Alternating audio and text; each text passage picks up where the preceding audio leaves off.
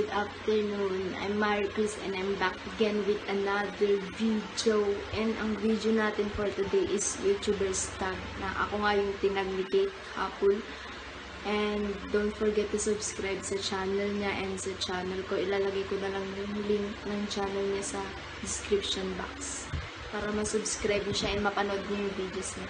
So, let's start with the YouTuber's tag and my 15 questions akong sasagutan na binigay niya.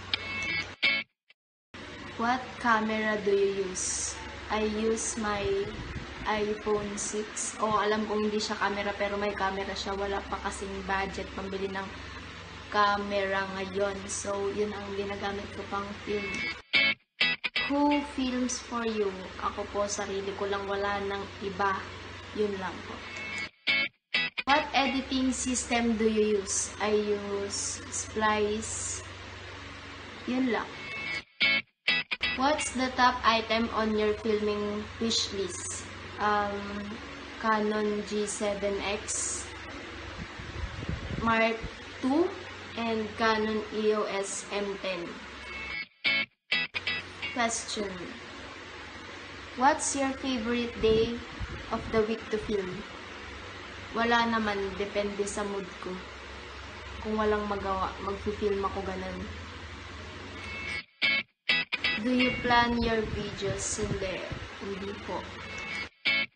How long does it take you to film the average video? 10 to 15 minutes, ganon.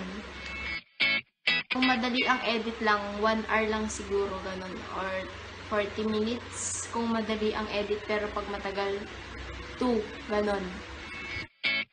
Favorite type of video to film? Mga hauls siguro.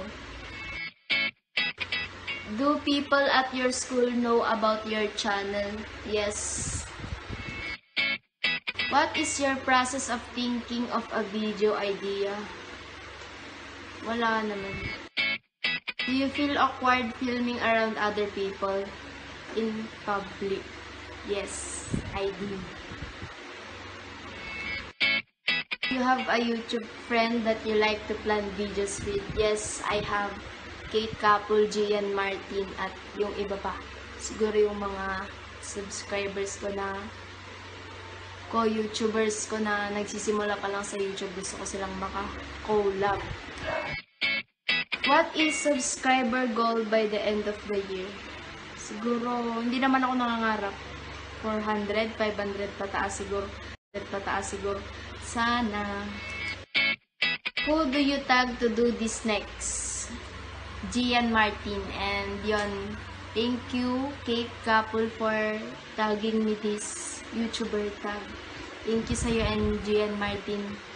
Hope you answer these 15 questions. Yung questions ilalagay ko na lang sa description box and yung Gian Martin na ko-YouTuber ko ilalagay ko din yung yung channel niya para makita niya yung videos niya and don't forget to subscribe kay Kate Kapul and sa akin at kay Gian Martin lang for this video. Hope you like this guys and don't forget to subscribe my channel, sa channel namin and follow my social media accounts. Bye! See you, see you later.